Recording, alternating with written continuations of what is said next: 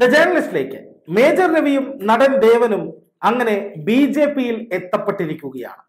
സ്വന്തമായ ഒരു പാർട്ടി തുടങ്ങി ഏതാണ്ട് ഒരു പതിറ്റാണ്ട് കാലത്തോളം ആ പാർട്ടിയുടെ നേതൃപദവിയിൽ ഇരുന്ന ശേഷം ഒന്നും സംഭവിച്ചിട്ടില്ല എന്ന് തിരിച്ചറിഞ്ഞാണ് ദേവൻ അവസാന അഭയസ്ഥാനമായി ബി ജെ പിയിലേക്ക് വെച്ചെത്തിയത്. മേജർ രവി ആകട്ടെ പണ്ട് ബി ജെ പിയോടൊരു അനുഭാവമൊക്കെ ചാനൽ ചർച്ചകളിൽ ഉൾപ്പെടെ കാണിച്ചിരുന്നു. പക്ഷെ പിന്നീട് അദ്ദേഹം കോൺഗ്രസിനൊപ്പം നിലകൊള്ളുന്ന ഒരു കാഴ്ച നമ്മൾ കണ്ടു. കേരള ബി ജെ പിക്കെതിരെയൊക്കെ രൂക്ഷമായ വിമർശനം അദ്ദേഹം ഉന്നയിക്കുന്ന സാഹചര്യം ഉണ്ടായിരുന്നു. എന്നാൽ തെരഞ്ഞെടുപ്പായതോടെ മേജർ രവിയും കറങ്ങിത്തിരിഞ്ഞ് ബി ജെ പിയിൽ തന്നെ എത്തി. ബി ജെ പിയിൽ എത്തിയതിന് പിന്നാലെ സംസ്ഥാന ഉപാധ്യക്ഷൻ എന്ന എടുത്താൽ പൊങ്ങാത്ത പദവിയും മേജർ രവിക്ക് കൊടുത്തിട്ടുണ്ട്. മേജർ രവിയെ സംബന്ധിച്ച് അദ്ദേഹം ഒരു തികഞ്ഞ ദേശീയവാദിയാണ്. നരേന്ദ്രമോദി സർക്കാരിനെ അഭിനന്ദിക്കുന്നതിൽ ഒരു കുറവും അദ്ദേഹം കാണിച്ചിട്ടില്ല. അദ്ദേഹത്തിന് നല്ല രീതിയിലുള്ള ഫാൻ ബേസ് പ്രത്യേകിച്ചും ദേശീയതയോട് ആഭിമുഖ്യമുള്ള യുവാക്കൾക്കിടയിലൊക്കെ അദ്ദേഹത്തിന് നല്ല രീതിയിലുള്ള ഫാൻ ബേസ് ഉണ്ട്. സോഷ്യൽ മീഡിയയിൽ തിളങ്ങി നിൽക്കുന്ന ഒരാൾ കൂടിയാണ് മേജർ രവി. ദേശീയ പ്രാധാന്യമുള്ള എന്ത് വിഷയം വന്നാലും മേജർ രവി അതുമായി ബന്ധപ്പെട്ട് ഒരു വീഡിയോ പോസ്റ്റ് ചെയ്താൽ അത് കാണാൻ ലക്ഷക്കണക്കിന് പ്രേക്ഷകരുമുണ്ട്.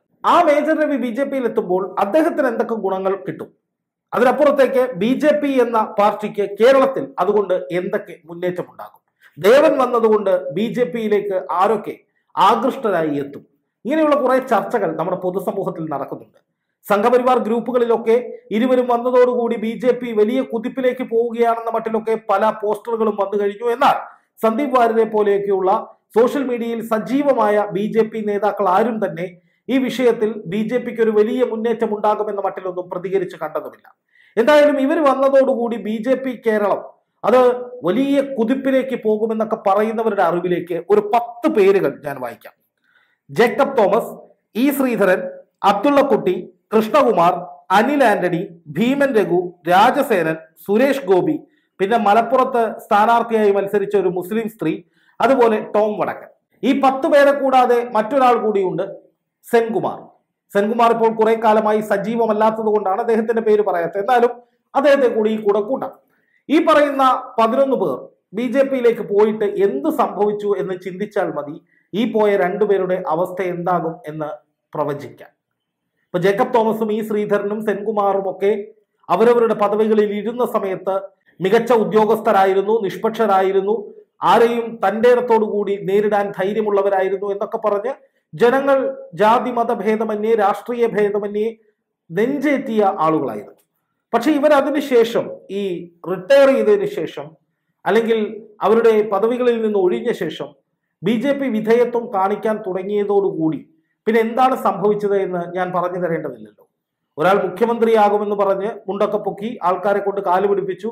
മറ്റൊരാൾ മുഖ്യമന്ത്രി പിണറായി വിജയനെതിരെ ശക്തമായ പോരാട്ടം നടത്തി അതിനെ എല്ലാവരും നിഷ്പക്ഷമാണ് എന്ന് തെറ്റിദ്ധരിച്ചു. എന്നാൽ അത് കഴിഞ്ഞ പാടെ ബി ജെ പിയിലേക്ക് എടുത്തു ചാടി. അതുപോലെ സെൻകുമാർ ആണെങ്കിലും അദ്ദേഹം ബി ജെ പിയിലേക്ക് വന്നതിന് ശേഷം വിളിച്ചു പറഞ്ഞ പോൾ ഹെയ്ലി മോഡൽ കാര്യങ്ങളൊക്കെ നമ്മുടെ മനസ്സിലുണ്ട്. അപ്പോൾ അവരൊക്കെ ബി ജെ പിയിൽ എത്തിയതിനു ശേഷം അവരെ ഉപയോഗിക്കാൻ ബി ജെ പിക്ക് കഴിഞ്ഞില്ല. അല്ലെങ്കിൽ ബി ജെ പിയിൽ എത്തിയതിനു ശേഷം അവർക്കുണ്ടായിരുന്ന സ്വീകാര്യത കുത്തനെ ഇടിഞ്ഞു താഴെ പോയി. ആന്റണി പോയ വിശേഷം ഒന്നും പറയാനില്ലല്ലോ. ആന്റണി പോയപ്പോൾ എന്തായിരുന്നു? ക്രൈസ്തവ യുവാക്കളുടെ ഒഴുക്കാണ് ബി ജെ പിയിലേക്ക് എന്നായിരുന്നു പറഞ്ഞിരുന്നത്. എന്നിട്ട് ഒന്നും ചെയ്യാൻ കഴിഞ്ഞില്ല. കൃഷ്ണകുമാറിന്റെ അവസ്ഥ കൃഷ്ണകുമാർ തന്നെ പറഞ്ഞിട്ടുണ്ട്. ബി ജെ പിയിലേക്ക് പോയതിനു ശേഷം സ്ഥാനവുമില്ല. അതുപോലെ പരിഗണനകളില്ല സിനിമകളുമില്ല എന്ന്. അങ്ങനെ ഓരോരുത്തരുടെയും അവസ്ഥ. എ പി അബ്ദുള്ളക്കുട്ടിയുടെ കാര്യമെടുത്താൽ നമുക്കറിയാം. എ പി അബ്ദുള്ളക്കുട്ടി ദേശീയ ഉപാധ്യക്ഷൻ ദേശീയ മുസ്ലിം എന്നൊക്കെ പറഞ്ഞ് അവതരിപ്പിച്ചിട്ട് ന്യൂനപക്ഷങ്ങളുടെ ഒഴുക്കായിരിക്കും ബി ജെ പിയിലേക്ക് എന്ന് പറഞ്ഞിട്ട് ആരും മൈൻഡ് ചെയ്യുന്നില്ല. അതുപോലെ സിനിമാ രംഗത്തുണ്ടായിരുന്ന രാജസേനൻ ഭീമൻ രഘു അവരും അടുത്ത് സി പി എമ്മിലേക്ക് പോയി. സുരേഷ് ഗോപി ആണെങ്കിൽ സ്വന്തം നിലയ്ക്കാണ് അദ്ദേഹം തെരഞ്ഞെടുപ്പിന്റെ വിജയത്തിന് വേണ്ടിയുള്ള കാര്യങ്ങൾ അതും ദേശീയ നേതൃത്വത്തിന്റെ നേരിട്ടുള്ള കൂടിയാലോചനകളും ഒക്കെ ബന്ധപ്പെട്ടാണ് ചെയ്യുന്നത്. ടോം വടക്കൻ എ ഐ സി സിയുടെ വക്താവായിരുന്നു. അദ്ദേഹം ബി ജെ പിയിലേക്ക് പോയതിനു ശേഷം അഡ്രസ് ഇല്ല. അതുപോലെ മലപ്പുറത്തെ സുൽഫത്ത് എന്ന് പറയുന്ന ഒരു സ്ത്രീ ഉണ്ടായിരുന്നു. അവർ സ്ഥാനാർത്ഥിയൊക്കെ ആയി നിന്ന് വലിയ മോദി സ്തുതിയൊക്കെ നടത്തി വന്നതാണ്. പക്ഷേ ആ തെരഞ്ഞെടുപ്പിന് ശേഷം അവരെ ബി വേണ്ട രീതിയിൽ പരിഗണിച്ചിട്ടില്ല. അപ്പോൾ എല്ലാവരുടെയും അവസ്ഥ കേരള ബി ജെ പിയിലേക്ക് വന്നവരുടെയൊക്കെ അവസ്ഥ ഇങ്ങനെയാണ്. ഈ ഒരു സാഹചര്യത്തിൽ മേജർ രവിയും ദേവനും വന്നിട്ട് എന്തു കാണിക്കാനാണ് എന്ന ചോദ്യം സ്വാഭാവികമാണ്. ഇപ്പൊ ദേവൻ സ്വന്തമായ ഒരു പാർട്ടി ഒരു പതിറ്റാണ്ട് കാലത്തോളം കൊണ്ടു നടന്നിട്ടും ഒന്നും ചെയ്യാൻ കഴിയാത്ത ഒരാളായിരുന്നു. ഇപ്പൊ മേജർ രവി ആണെങ്കിൽ നേരത്തെ കോൺഗ്രസിനൊപ്പം കോൺഗ്രസിന് ഐക്യദാർഢ്യവും ഒക്കെ വന്ന ആളാണ്. എനിക്ക് തോന്നുന്നു കോൺഗ്രസിന്റെ തെരഞ്ഞെടുപ്പ് പ്രചാരണ പരിപാടികളിലൊക്കെ അദ്ദേഹം എവിടേക്കോ പങ്കെടുത്തിട്ടുണ്ട്. അതുകൊണ്ടും അദ്ദേഹത്തിന് രാഷ്ട്രീയത്തിൽ ഒന്നും ചെയ്യാൻ കഴിഞ്ഞില്ല. അപ്പോ പല രംഗത്തും തിളങ്ങി നിൽക്കുന്ന അല്ലെങ്കിൽ സോഷ്യൽ മീഡിയയിൽ ഫാൻ ബേസ് ഒക്കെയുള്ള പലരും ബി ജെ പിയോട് ചേർന്ന് നിന്ന് അല്ലെങ്കിൽ ബി ജെ പിയിൽ വന്നതിന് ശേഷം കേരളത്തിൽ ഒന്നും ചെയ്യാൻ കഴിഞ്ഞിട്ടില്ല എന്നുള്ളത് ഒരു യാഥാർത്ഥ്യമായി നമുക്ക് മുന്നിൽ നിൽക്കുകയാണ്. അപ്പൊ അങ്ങനെ ഒരു സാഹചര്യത്തിൽ ഇവരൊക്കെ വരുന്നതോടുകൂടി കേരളത്തിൽ ബി ജെ പി സ്ട്രോങ് ആകും അല്ലെങ്കിൽ കേരളത്തിൽ ബി ജെ പിക്ക് വലിയ മുന്നേറ്റം ഉണ്ടാകും എന്നൊക്കെ പറയുന്നത് തെറ്റിദ്ധാരണയാണ്. അങ്ങനെ എന്തെങ്കിലും ഒരു നേട്ടം ബി ജെ പിക്ക് ഉണ്ടാക്കാനാകുമായിരുന്നുവെങ്കിൽ ശബരിമല സമയത്ത് നടക്കേണ്ടതായിരുന്നു.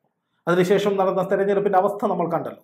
എന്ന് മാത്രമല്ല ഇപ്പോൾ പുതുതായി വരുന്നവരെ ഒക്കെ പിടിച്ച് ഉപാധ്യക്ഷനും സംസ്ഥാന ജനറൽ സെക്രട്ടറിയും അല്ലെങ്കിൽ ബി ജെ പിയുടെ വക്താവും ഒക്കെ ആക്കുമ്പോൾ ഇത്രയും കാലം ബി ജെ പിക്ക് വേണ്ടി കഷ്ടപ്പെട്ട് പണിയെടുത്ത നേതാക്കൾ അവർക്കിടയിൽ വലിയ അസ്വാരസ്യമുണ്ടാകും.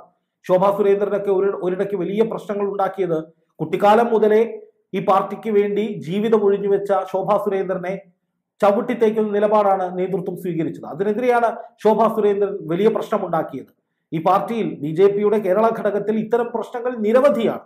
അത്തരം പ്രശ്നങ്ങൾക്ക് ആക്കം കൂട്ടാനേ ഈ പുതിയ ആളുകളെ കൊണ്ടുവന്ന് കിരീടം വെക്കുന്ന പരിപാടി എത്തിക്കൂ എന്നുള്ളതാണ് എനിക്ക് തോന്നുന്ന കാര്യം.